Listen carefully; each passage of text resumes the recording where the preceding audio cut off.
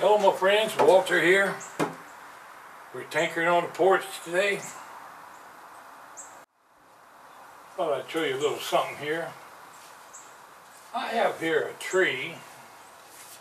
Well, it was a tree at one time. Cut it down about two years ago. I've been letting it dry out. It was green wood. When I get through with it, it's going to be a walking stick. And it's dry enough that I could start whittling on it, but that's be a, but that'll be a long time project. In the meantime, I need to shorten this booger up a little bit. When I put it away to dry, I hope the camera is focusing on that. I coated both ends with wax so it wouldn't split as it dries out. But I left this too long and it's got some crookedness I need to take out of it anyway.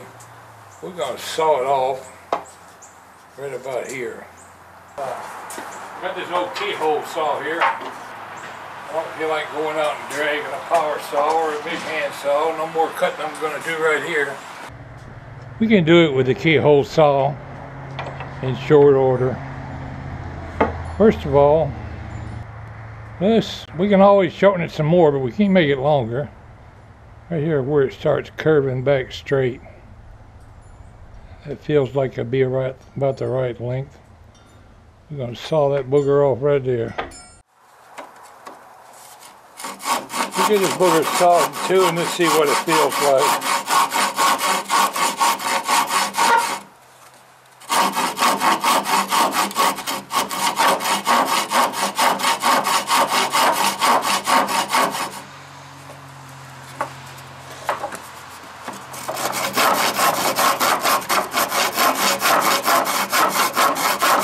Definitely not wet wood anymore, it's dry.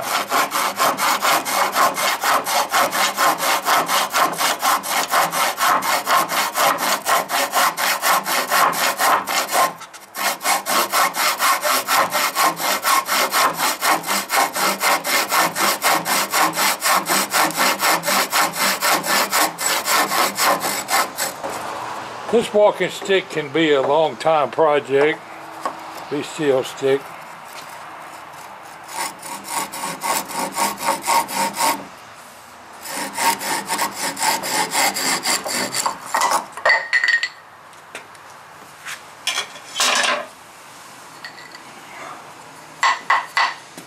Don't remember what kind of wood this is. I don't know if it was dogwood or don't look like oak. I'm going to say it was a piece of dogwood. I've got these little notches where the limbs were on the tree.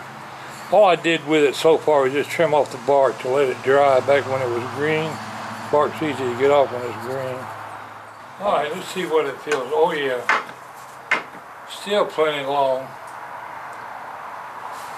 on this end here, I thought I might carve like a wood spirit or a figurine or something in the big part here. I'm not a great wood carver, but we got plenty of time on our hands. A little sandpaper, smooth it up. Take off these little notches where the limbs were to start with, where, where it won't hurt your hand.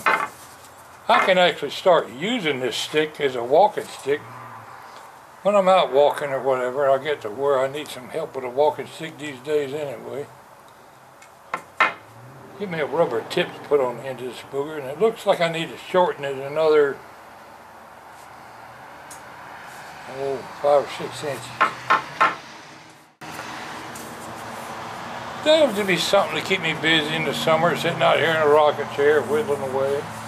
And it's dry enough that I can start using it as a walking stick now.